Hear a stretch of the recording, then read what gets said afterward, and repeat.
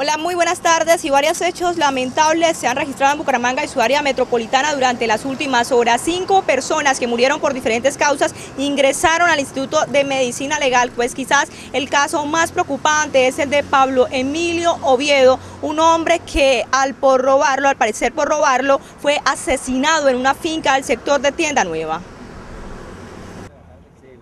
El hecho se registró en la vereda La Putana, cerca a Tienda Nueva, en la vía que conduce de Bucaramanga hacia Barranca Bermeja. Pablo Emilio Oviedo fue golpeado salvajemente con una tabla, hecho que le causó la muerte. Pues eh, supuestamente un amigo que los vio llegar, pero solos. mi hermano venía en un caballo y el otro venía a pie ahí, hablando cháchara, pero que no vieron más.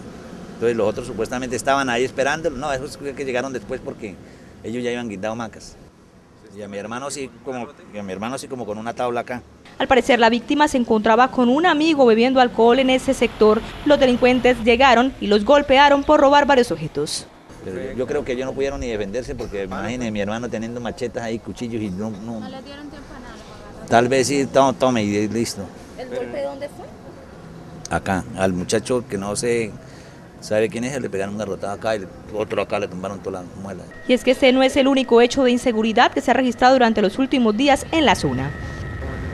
Sí, que es que días antes también iban a agarrar a un señor y lo amarraron y esculcaron la casa y todo eso, pero lo dejaron amarrado, no, no le hicieron nada. Y ahorita hace como 15 días fue otra vez, vean.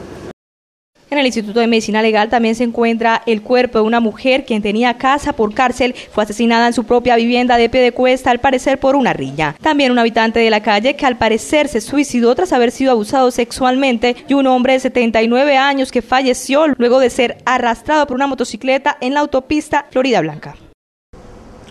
Muy bien, mientras los familiares reclaman los cuerpos aquí en el Instituto de Medicina Legal, pues las autoridades están en la investigación de los diferentes casos de violencia para dar con los autores de los tres homicidios que ocurrieron y también para establecer cuáles fueron las causas exactas del accidente que se registró en la paralela al bosque. Esta es toda la información que se registra por el momento, pero ustedes continúen con más Oriente Noticias. Muy buenas tardes.